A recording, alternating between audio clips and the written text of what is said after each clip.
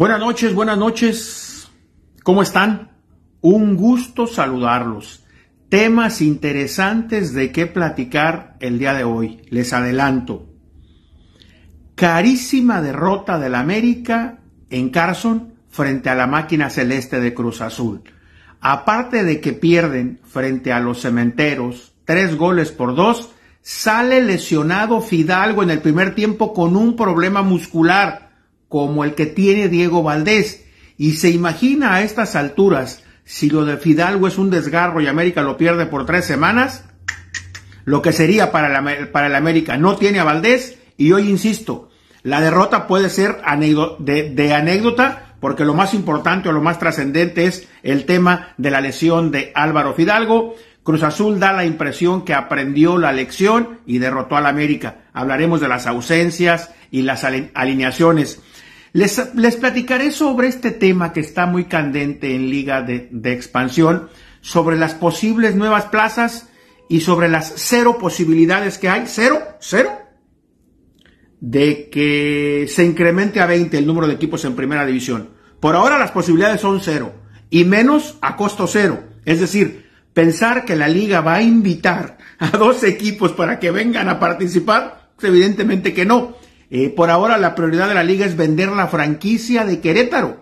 Si Atlante, si Leones Negros, si Morelia están interesados en poder jugar en primera división, el camino más rápido sería comprar la franquicia de Querétaro. O esperar a que se abra el ascenso, si se abre en algún momento, poder ascender. Pero pensar que van a ser invitados a costo cero está totalmente descartado. Esa posibilidad no existe. Les hablaremos también de que ya ganó Bravos, ya ganó Bravos. Dicen en mi pueblo que nunca falta un roto para un descosido y hoy fue Puebla. Fue Puebla a la cancha de Bravos y bolas Don Cuco. Cuatro por tres, feria de goles de dos equipos desesperados.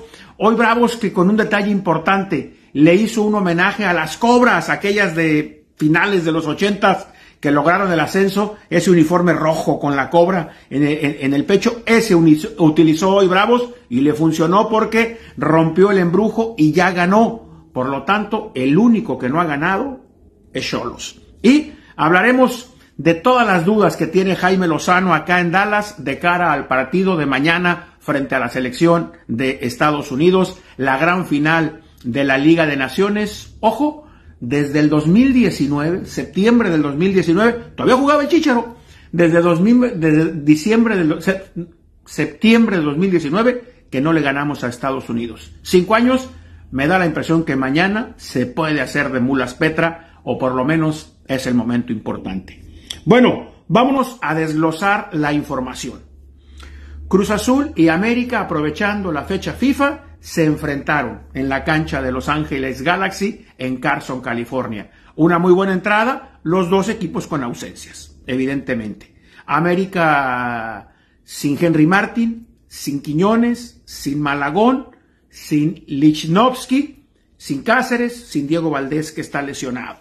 Cruz Azul sin Dita, el colombiano, sin Uriel Antuna, sin Charlie, no los tuvo el equipo cementero por, el mismo motivo. De todas formas, los dos equipos presentaron onces muy interesantes. Vean, eh, América, Jiménez, Kevin, Chava Reyes, Fuentes, Araujo, Fidalgo, Jonathan, Richard, Yavairo, Sendejas y el Zacatecano Hernández.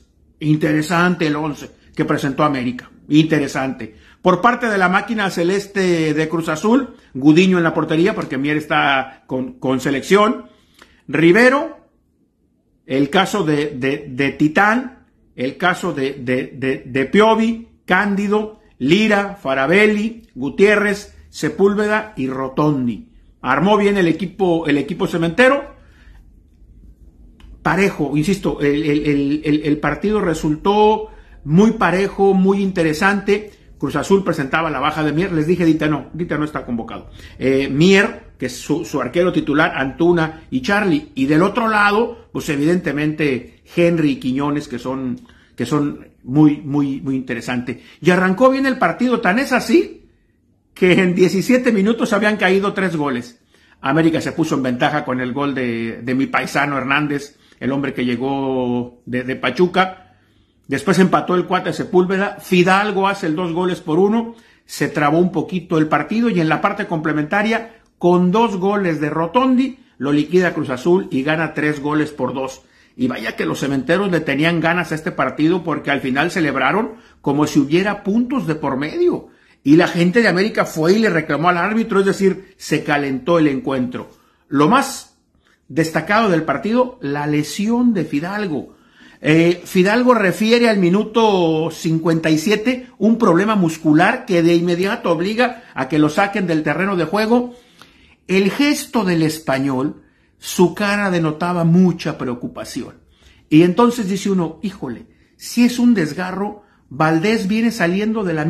Valdés está con el mismo tema, por eso no fue a la selección chilena. Ojo, recuerden ustedes, América no hizo pretemporada, porque el equipo americanista jugó la final y después vinieron acá a Dallas a jugar frente al Barcelona y salieron hasta el jueves cuando se coronaron el domingo hasta el jueves después del partido se pudieron ir de vacaciones. Y entonces con el torneo en marcha fueron campechaneando el tema de la pretemporada y evidentemente que hoy día esas situaciones son producto de una pretemporada en estas condiciones.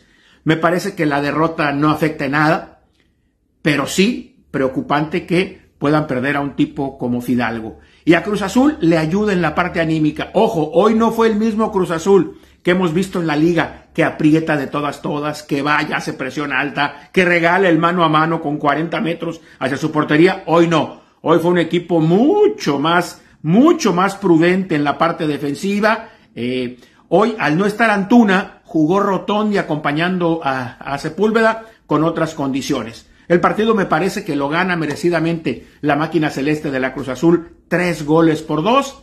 Y ahora a esperar el reporte en el caso de Álvaro Fidalgo, porque se trata de un futbolista muy importante para las Águilas del la América.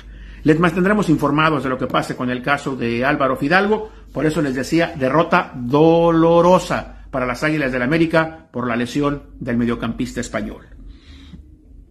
Les cuento, hay mucho ruido en el tema Liga de Expansión, ascenso, porque hay plazas que están buscando la posibilidad de tener equipo en liga de expansión el próximo torneo. Saltillo. Inclusive Saltillo está muy adelantado ya en las negociaciones con la familia Rojo, que son los propietarios de Cimarrones, que ya no quieren tener equipo y que ellos están negociando con la gente de Saltillo para que Cimarrones pueda ir a jugar a Saltillo el próximo año. Ojo con un tema. Y, por eso la negociación no está cerrada como tal. Se necesita el visto bueno de la liga para que validen al equipo de, de, Saltillo y se le permita ser plaza de liga de expansión. Otros equipos que están buscando también la posibilidad de tener un equipo en expansión son Veracruz, que está remodelando el Luis Pirata Fuente y les está quedando bien, y que inclusive ellos dicen que ya tienen apalabrada una franquicia. No quieren decir cuál, pero la gente de Veracruz dice que ya tienen apalabrada una franquicia y que está en el tema con la negociación eh, con la liga y la federación para que los validen y se pueda hacer la transferencia. Ellos no dicen, a mí me late que esa franquicia puede ser Tepatitlán. Tepatitlán, sus dirigentes están buscando la posibilidad de poder negociarla para el próximo torneo y da la impresión de que Veracruz puede ser. Otra plaza que quiere fútbol de liga de expansión es Tepic Nayarit. Ellos tienen un estadio, la Arena Cora, que se construyó que podría reunir perfectamente los requisitos para jugar en liga de expansión, no en primera división por la, por la capacidad, es un estadio pequeñito pero, pero, pero bien hecho. Y entonces Tepic estaría buscando también la posibilidad Aquí es más complejo porque siempre en Tepic el fútbol ha llegado de la mano del gobierno. Los empresarios, a los empresarios nunca los han logrado incorporar. Y lo que la liga no quiere es precisamente eso, que los gobiernos estén metidos porque entonces si es municipal cada tres años y si es estatal cada seis años viene un problema, ¿no? De que al nuevo gobernante o de que al nuevo alcalde no le gusta el fútbol, retire el apoyo y luego se vengan unas broncas monumentales. Pero en esas están. Y también la gente de, Los Cabos platicaba el otro día con, con Hugo Salcedo, que es el director general del proyecto, y que esos tienen lana, ¿eh? Hay lana de unos empresarios canadienses que están metidos ahí en, en Clippers de Los Ángeles, que tienen lana y que están interesados en poder comprar una franquicia de liga de expansión para llevarla a Los Cabos. Ellos estarían más atorados por el tema del estadio. Tendrían que, hacerle algunas modificaciones eh, al estadio, que está muy pequeñito por ahora, el estadio que tiene Los Cabos, ¿no? Pero son las plazas que han mostrado interés. ¿Qué plazas? Déjenle echar un traguito. Es café, ¿eh? no piensen que es otra cosa.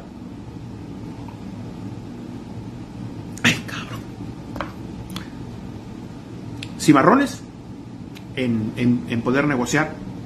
Tepatitlán y Celaya. Celaya ya se dio cuenta que difícilmente va a ser validada porque tiene una situación muy compleja Celaya. La franquicia como tal, el certificado de afiliación, como se le dice ahora a la franquicia, pertenece a la familia Char. ¿Se acuerdan los dueños de las pinturas cómics? Ellos son los dueños de la franquicia. Pero desde hace rato que ellos no la operan. La franquicia es operada por el promotor Ronald Baroni, argentino radicado en Perú y que trabaja con alguna gente de Puebla y que ahí los tiene manejando el equipo. Entonces está muy complejo y se habla de que Celaya también estaría buscando la posibilidad de vender la franquicia. Lo que sí les digo que por ahora está descartado es la posibilidad de ascender a 20 equipos en primera división. Eso por ahora bórrenlo.